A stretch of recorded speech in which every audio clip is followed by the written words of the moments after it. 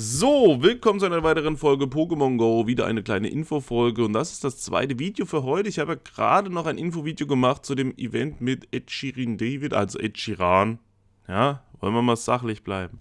Und gleichzeitig wurde auch der nächste Community Day angekündigt, also der Community Day nach dem nächsten Community Day, weil der nächste Community Day ja noch gar nicht war. Das ist ja Shinox, der ist aber dann diese Woche.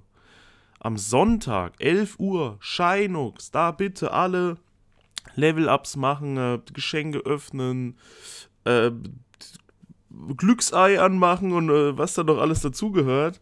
Aber es ist ungewöhnlich, dass vor dem C-Day schon der nächste nach C-Day angekündigt wird. Normalerweise haben wir immer den C-Day gespielt und dann haben wir eine Woche lang jeden Tag darauf gewartet, dass der nächste angekündigt wird. Ich meine, es ist ja keine Überraschung, dass es Ende des Jahres wieder diesen Super C-Day gibt. Aber ja, sie hätten doch trotzdem warten können, bis Shinux um ist und nach Shinux dann raushauen können. Jetzt auch die Infos für den Super Z-Day. Finde ich ein bisschen blöd, dass da, da ist der gerade in den Startlöchern, dann wird das Event noch draufgeklatscht, dann wird das noch, also. Und dann ist wieder die ganze Zeit alles ruhig. Und so blickt doch keiner durch. Meine Meinung zu den Super Z-Days ist erstmal. Äh das Prinzip dahinter ist ja ganz gut und ganz schön gedacht, ja, dass so zum Ende des Jahres nochmal gefeiert wird. Alle kommen nochmal beisammen hin und her, aber irgendwo unterstützt es ja auch die Faulen. Die kriegen jetzt alles hinterhergetragen und müssen nicht up to date sein. Auf der anderen Seite gibt es immer wieder neue Spieler, die sowieso die anderen alle verpasst haben und sich darüber freuen und halt einfach nur einen Tag spielen müssen und haben dann alles. Während andere einfach jeden Tag gespielt haben und haben immer noch nicht alles. Und für mich ist es immer so ein bisschen, ich freue mich immer auf einen Siede. Ich freue mich immer auf einen Siede. Ich freue mich auf diesen einen Tag, auf diese paar Stunden. Ich freue mich auf äh, die neuen Shinies. Ich freue mich auf den Bonus. Aber beim Super Siede habe ich mich irgendwie noch nie gefreut, beziehungsweise bin immer so ein bisschen, Ach, naja, ach so, Super C-Day, stimmt, da war ja was. Ich wäre damit nicht ganz warm, denn ich, ich rede halt nur von mir, ich spiele halt jeden C-Day und nehme halt alles mit.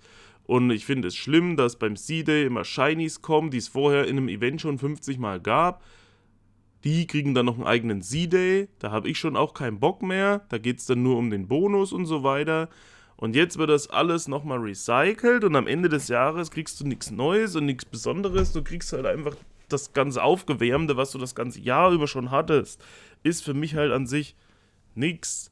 Auf der anderen Seite kann man wieder sagen, halt doch dein Maul, guck doch mal, wenn es gar keinen C-Day gäbe, wäre es auch wieder kacke, es würde irgendwie was fehlen und keiner wird gezwungen, den C-Day zu spielen. Also ich kenne alle Meinungen, ich kenne alle Seiten, ich beleuchte alle Seiten und so weiter. Und deswegen, er wird ja eh gespielt. Egal, ob man sich drauf freut, egal, ob man sich nicht drauf freut, als aktiver Spieler nimmst du ja trotzdem einfach alles mit. Auch den Super C-Day und auch wenn du eigentlich dann nichts Neues drin hast und den eigentlich nicht brauchst, werden wir den trotzdem zusammen verbringen, werden zusammen den dann abhalten und ja, ich muss nur mal gucken, wie ich das mache. Ob ich beide Tage mache oder nur einen. Wegen Stream, Rates für Zuschauer, ob da was ist oder ob das ganze Wochenende wirklich nur C-Day dann abgehalten wird. Man weiß ja jetzt auch noch nicht, was dann in den Rates ist. Ist immer so ein Ding. Aber wir müssen uns ja auch die Pokémon mal angucken. Welche Pokémon sind denn interessant? Welche Pokémon braucht man denn unbedingt?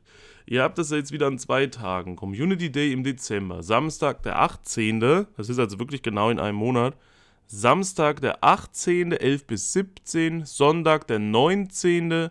11 bis 17. Event Boni, Rauch, hält 3 Stunden an, wie bei jedem C-Day.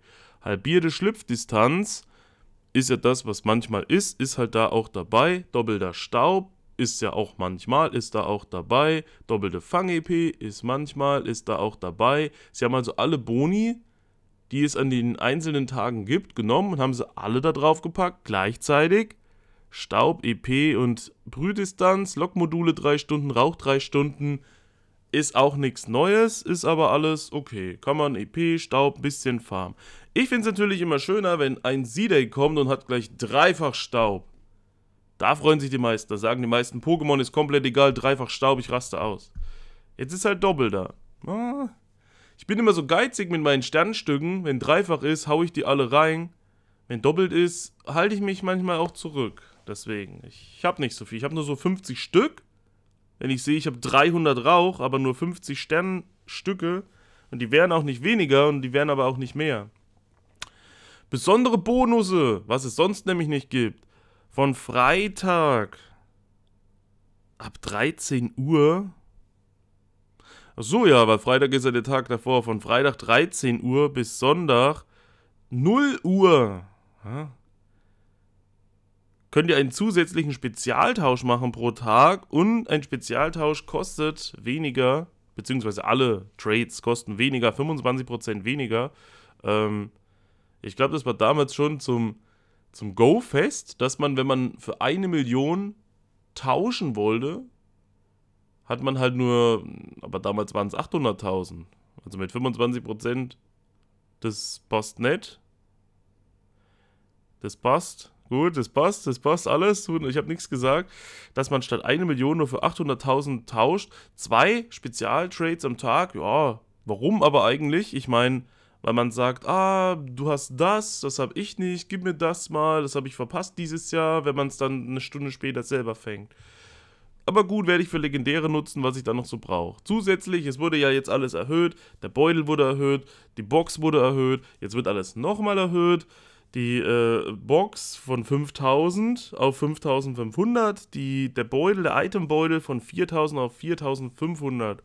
Ich habe meine Items auf 4000 erhöht weil ich immer durchs Raiden so viele Sonderbonbons habe. Meine Pokémon-Box, ja, die ist die ganze Zeit eigentlich schon bei 4, 5 gewesen und hat nie das Maximum erreicht. Die jetzt auf 5 zu erhöhen oder gar auf 5, 5 ist für mich jetzt erstmal nicht so interessant. Die meisten von euch haben sogar 350 und kommen mit dem Platz hin, ja. Ihr könnt immer reinschreiben, wie groß ist eure Pokémon-Box und euer Item-Beutel. Dann aber hier, wilde Pokémon.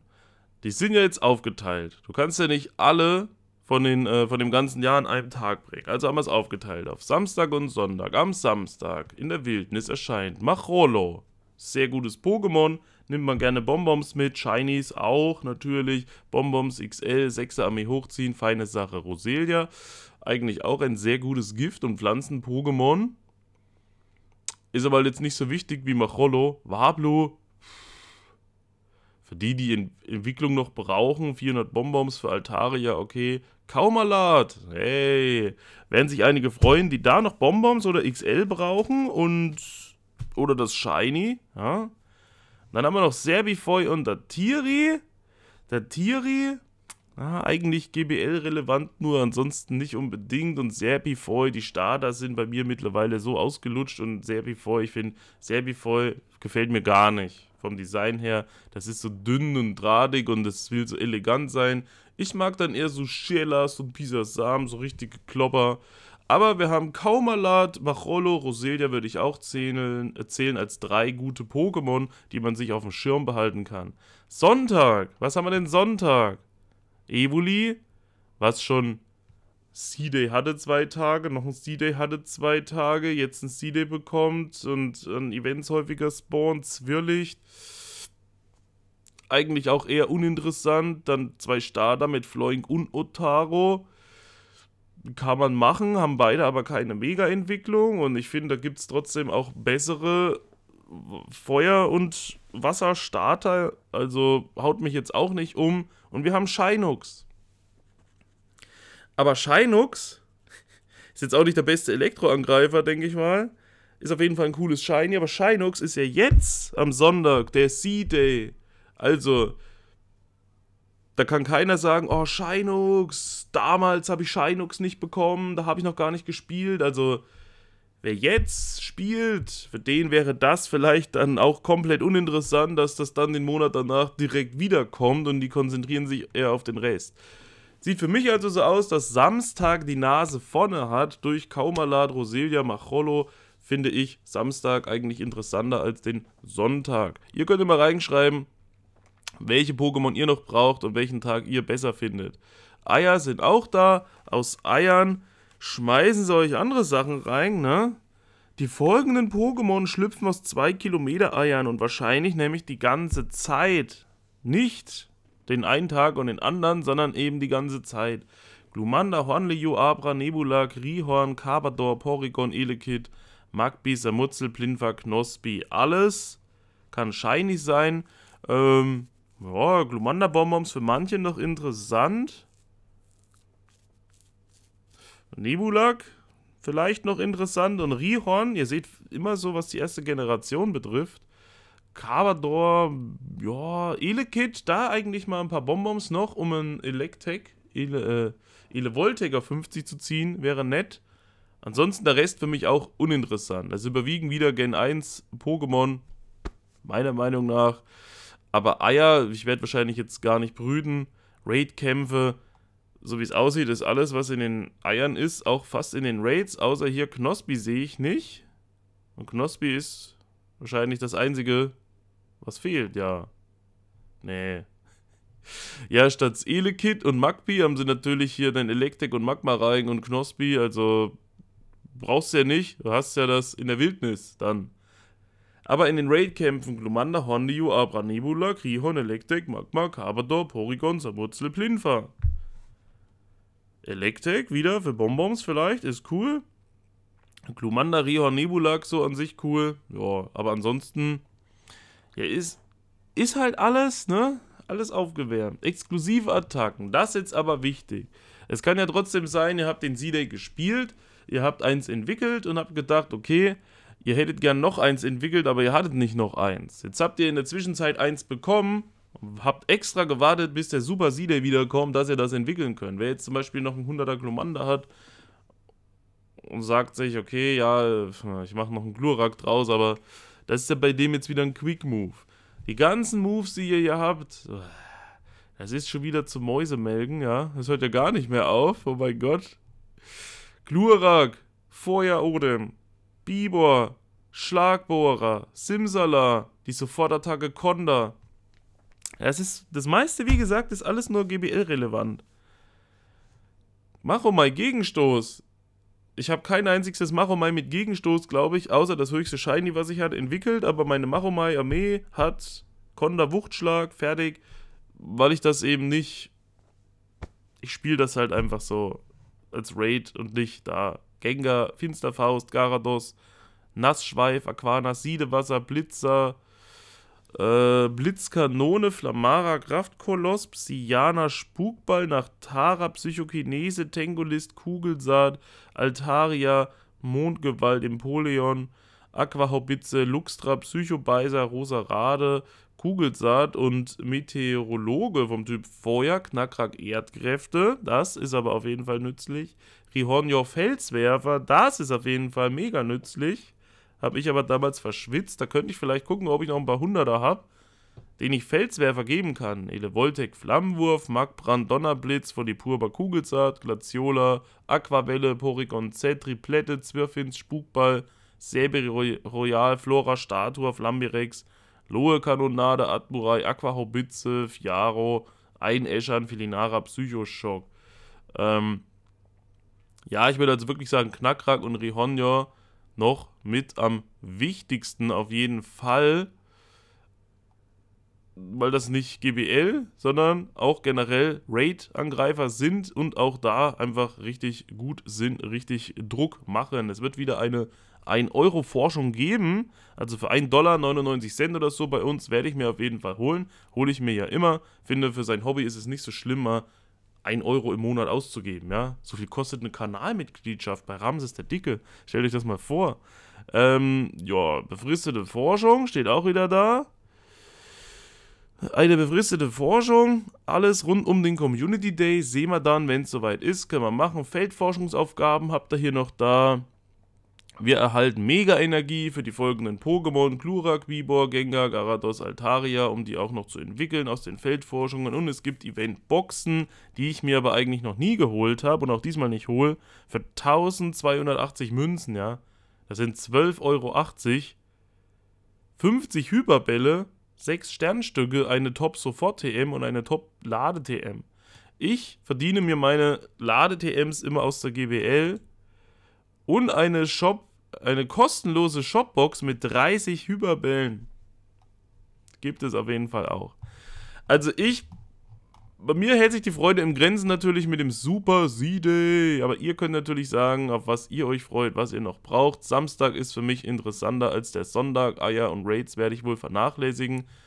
Gucken, dass ich noch ein paar Bonbons da vielleicht einsack, gerade von Machomai. Jetzt, wo ich auch begonnen habe, da immer mal ein paar Krypto hochzuziehen. Und ja, Rihonja nochmal, Knackrack nochmal mit der besonderen Attacke. Für mich als Raid-Spieler auf jeden Fall eine gute Sache, würde ich sagen. Dann war es das eigentlich auch zum Super C-Day.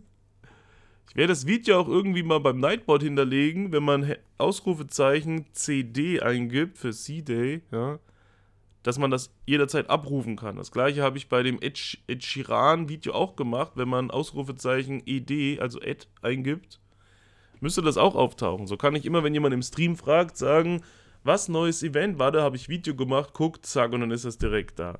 Das war es jetzt aber von meiner Seite aus. Wir sehen uns bald wieder. Bis dahin, Peace out, Vorhaut, euer Ramses.